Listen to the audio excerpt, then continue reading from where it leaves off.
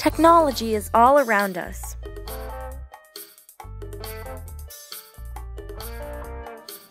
We, as teachers, use technology all the time, as do many other adults.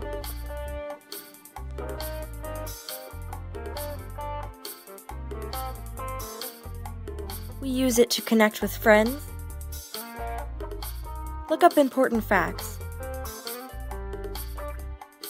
and even to book hotel rooms or order pizza. When we, as adults, are constantly using technology, how can we expect our students not to? In the future, technology will most likely advance and become even more prevalent in society. So, why shouldn't we prepare our students for it?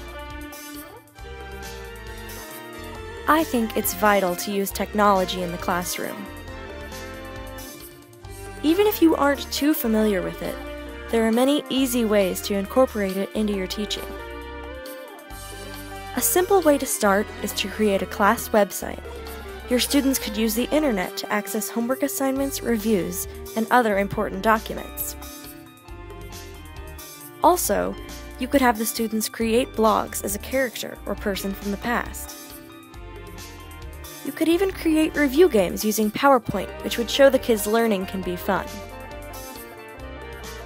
You don't have to be a technology expert to use it in the classroom. Just try a few of these simple ideas, and it will help your students out in the long run.